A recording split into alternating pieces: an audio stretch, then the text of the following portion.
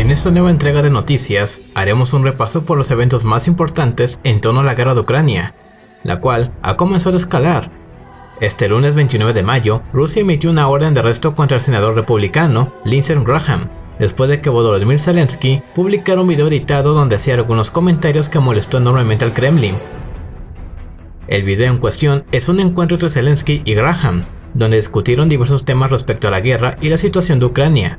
en él se pueden leer las siguientes frases.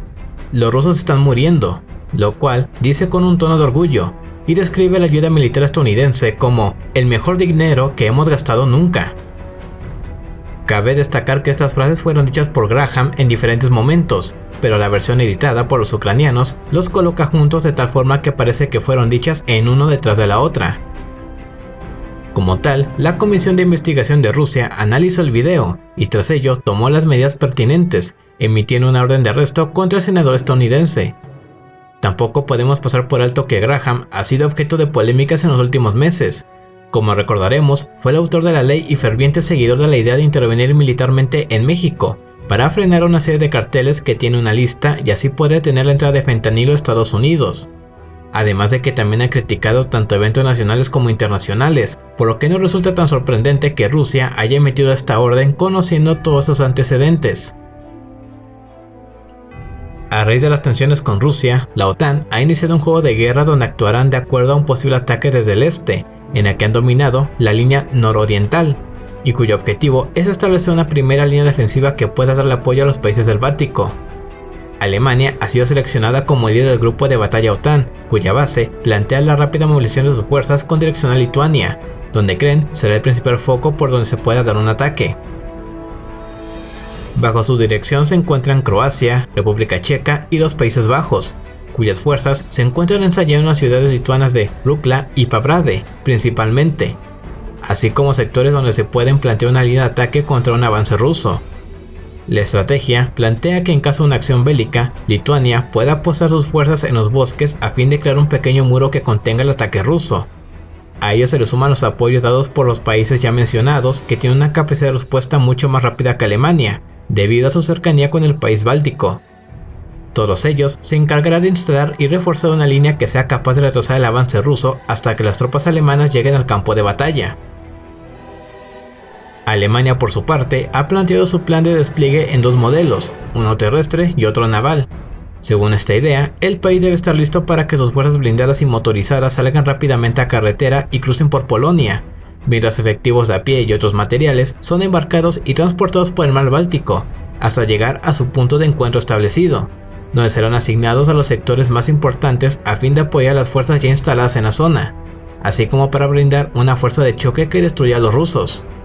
Asimismo, Estados Unidos lleva a cabo su propio juego de guerra con Noruega y otros países, donde 150 aparatos aéreos y aproximadamente 300.000 efectivos deben llevar a cabo una campaña aeronaval, donde también se ha involucrado el portaaviones nuclear USS Gerald R. Ford como unidad insignia para esta operación, donde también tiene como objetivo brindar apoyo a los países bálticos, pero sobre todo para dar una pronta respuesta a cualquier acción que se dé por el norte.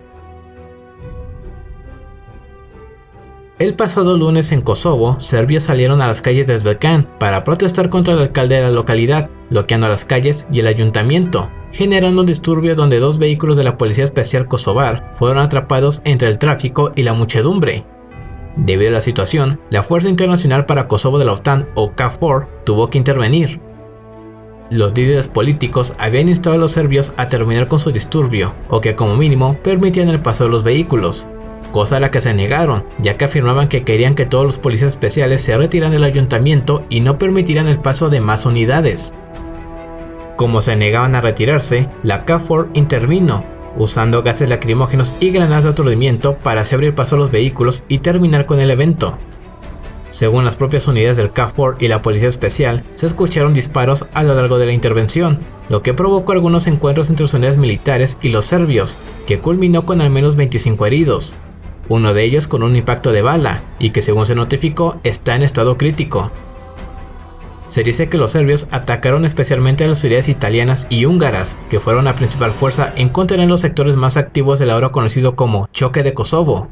La razón de todo esto es porque los serbios no reconocen la autoridad a los nuevos alcaldes, que fueron elegidos el pasado mes de abril, con una aceptación de apenas 3%, gracias a las movilizaciones serbias que interrumpieron las votaciones.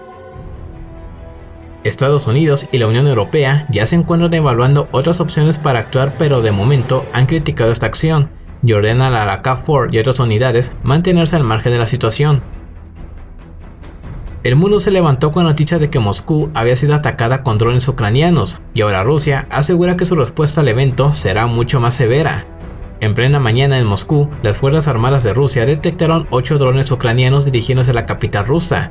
según el telegram del alcalde de Moscú, Sergei Sobyanin, los drones dañaron varios edificios e hirieron a dos personas. Por su parte, el portavoz del Kremlin, Dmitry Peskov, mencionó que ya se ha reunido con Putin para tomar cartas en el asunto, e incluso comentó que ya recibió información directamente de las fuerzas del orden, del Ministerio de Situaciones de Emergencia, del alcalde de Moscú y del gobernador de la región de Moscú. En las últimas horas, las autoridades ya se han encargado de asegurar los edificios dañados, las evaluaciones de daño siguen en pie. De momento se sabe que Rusia se reserva el derecho a tomar las medidas más severas en respuesta a los ataques terroristas del régimen de Kiev. Y hay que recordar que cuando su territorio es atacado, siempre hay una respuesta o aumento en las hostilidades. No podemos olvidar que ya hubo un atentado en el Kremlin y la respuesta de ese fue bombardear la capital, así como entrar el fuego de artillería en sectores clave, que incluso llegaron a levantar las alarmas de todo el frente en retiradas ocasiones. Como es habitual, Zelensky salió a comentar que Ucrania no tiene nada que ver con el ataque, afirmando que los drones no fueron suyos y que sus tropas nunca se atreverían a semejantes acciones. Pero tenemos varios antecedentes donde no solo Moscú, sino varias ciudades fronterizas, así como bases militares e infraestructura energética o de índole logístico, han sido atacados por drones ucranianos, pero tampoco podemos dejar pasar por alto que hubo un evento donde un dron de origen estadounidense sobrevoló el Mar Negro y estuvo muy próximo al puerto de Sebastopol. El aparato fue interceptado por las fuerzas rusas y pidieron una explicación de por qué Estados Unidos tenía un dron en la zona. Asimismo, el primer ataque contra el Kremlin que se suscitó a principios de mayo fue atribuido principalmente a Gran Bretaña, donde varios personajes rusos acusaron a los ingleses de entregar e incitar a los ucranianos a atacar Moscú con drones.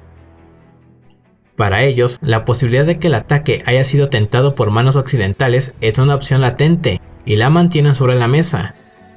Mientras llegan a una resolución, solo podemos especular qué clase de respuesta puede dar el Kremlin contra Kiev. Por las palabras dadas al aumento del fuego de artillería o el uso estandarizado de misiles, puede que se quede atrás y Rusia lleve otra arma a participar al campo de batalla lo cual tampoco sería nada raro, ya que tras estos eventos se han visto unidades adicionales operando en sectores específicos del frente, así como la intervención de otros sistemas y aparatos. Últimamente han salido notas que hablan de los sistemas Patriot, los cuales fueron prometidos por Estados Unidos en diciembre de 2022 y que no llegaron a Ucrania sino hasta hace poco. Como sabemos, el 16 de mayo, los rusos lanzaron un ataque sobre Kiev con misiles, los cuales, según varios medios ucranianos, fueron interceptados y destruidos con éxito por el sistema estadounidense. Sin embargo, Sergei Sugoi afirmó que esto había sido alcanzado, aunque algunos días después el Pentágono afirmaba que en realidad había recibido ligeros daños, por lo que fue retirado para su reparación, pero que ya se encuentra nuevamente en servicio. El día martes 29 de mayo, Suigoi volvió a salir en los medios rusos, informando que habían destruido un sistema Patriot en los últimos días, pero no dio detalles al respecto. Pero agregó que junto al sistema también fueron capaces de interceptar y derribar 196 misiles HIMAR, 16 misiles HARM y 29 misiles de crucero Storm Shadow. Ucrania no se ha pronunciado al respecto sobre la nota de que un sistema Patriot fue destruido por las fuerzas rusas.